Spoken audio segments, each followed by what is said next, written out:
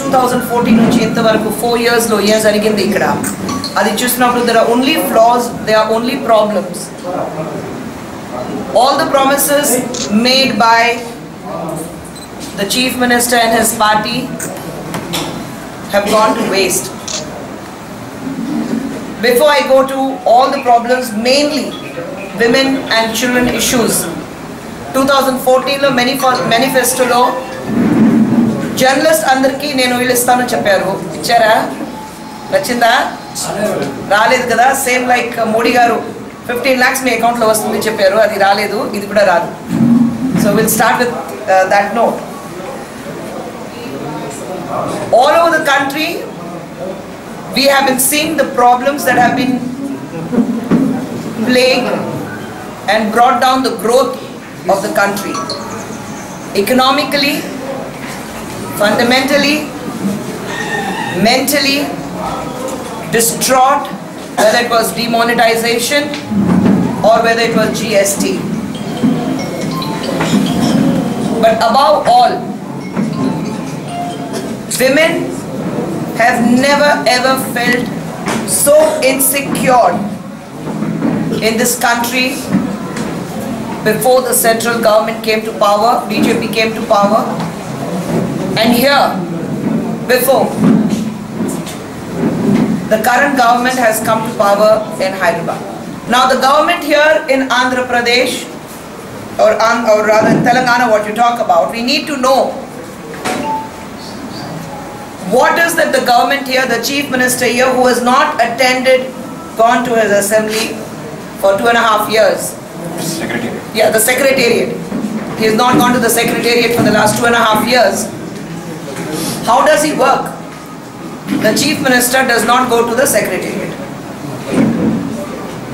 If you're not going to the secretariat, how the people going to trust you? మీరు ఇంట్లో నుంచి అన్ని పని నేను చేస్తున్నాను చెప్తే త్రీ హండ్రెడ్ క్రోస్కి ఒక ఇల్లు కట్టి బుల్లెట్ ప్రూఫ్ అన్ని కట్టి మీరు అక్కడ కూర్చుని మరి పని చేస్తే what kind of work do you give to the public?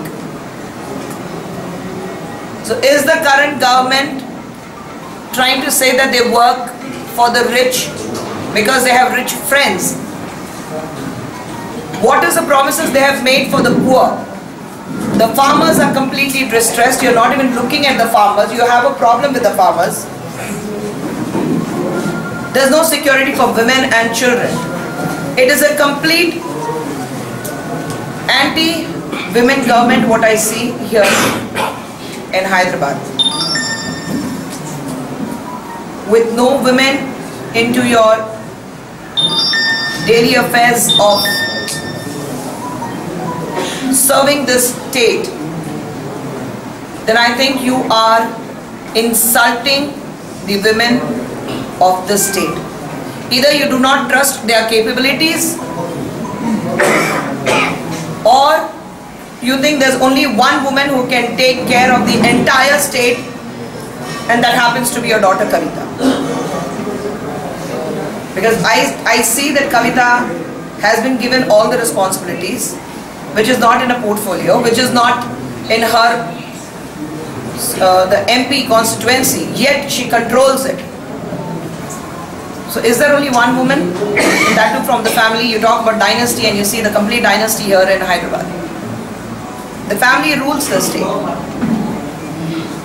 What answers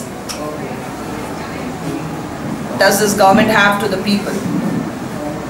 ఇంతవరకు మీరు చూసినప్పుడు ఎక్కడైనా ఒక అమ్మాయికి పొజిషన్ ఇచ్చి మీరు ఉంటే బాగుంటుంది మీరు చూసారా ఈ గవర్నమెంట్లో నో